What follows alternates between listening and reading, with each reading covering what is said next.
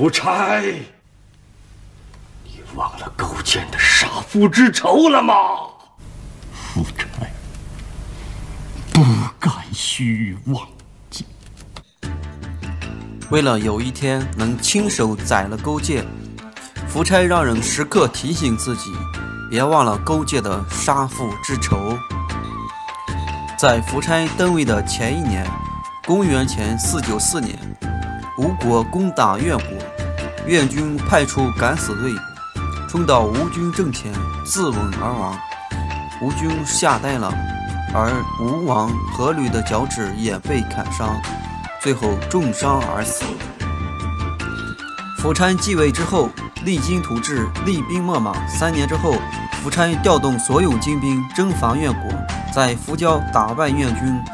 越王勾践带着甲兵五千人退守会稽，派大夫文种通过伯嚭向吴国求和，请求把越国交给吴国，自己愿意做吴王的奴仆。夫差准备答应他。伍子胥劝解道。现在不消灭越国，以后必定后悔莫及。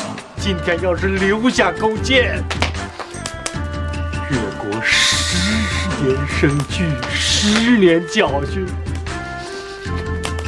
二十年的功夫，就能把吴国。夫差不听，劝听行太宰伯嚭的话，答应了同越国讲和。与越国签订盟约后撤兵，越王勾践返回越国。勾践亲自耕种劳作，夫人亲自纺织，饮食不吃肉，谦虚恭敬地对待贤人，救济贫穷的百姓，到位死者与百姓同劳苦，把苦胆悬挂在座位旁边，坐着或躺着时时凝视着苦胆，吃饭时尝尝胆汁。并叫人提醒自己：勾践，你忘了会稽之耻了吗？太宰伯嚭诋毁伍子胥，吴王开始不相信谗言，就派伍子胥出使齐国。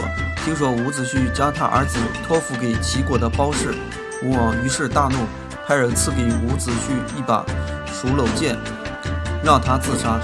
伍子胥说：“待老臣死后。”将老臣的双目挖出，挂在城门上。我要亲眼看着勾践带兵杀进阖闾城。公元前四百八十二年，吴王北上，在黄池和诸侯会盟。勾践趁机讨伐吴国，吴国派人向吴王告急，吴王正在黄池。和诸侯会盟，害怕天下诸侯知道吴国战败的消息，就严守秘密。吴王在黄池会盟完毕，就派人使后雷与越国讲和。越王估计自己也不能吞并吴国，就与吴国讲讲和了。公元前四百七十三年，越军再次打败吴军，把吴王围困在姑苏山上。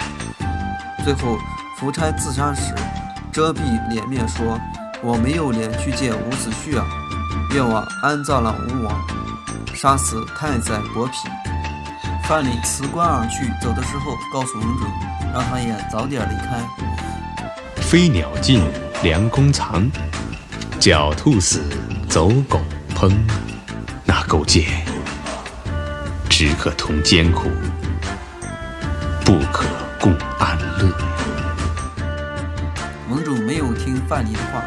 但之后就称病不上朝，有人诬陷盟主要造反，勾践就派人赐给盟主一种剑，说：“你曾经教我攻伐吴国的七种方法，我只用了三种就打败了吴国，还有四种还没有用到，你就帮我等先祖去吧。”于是文主自杀。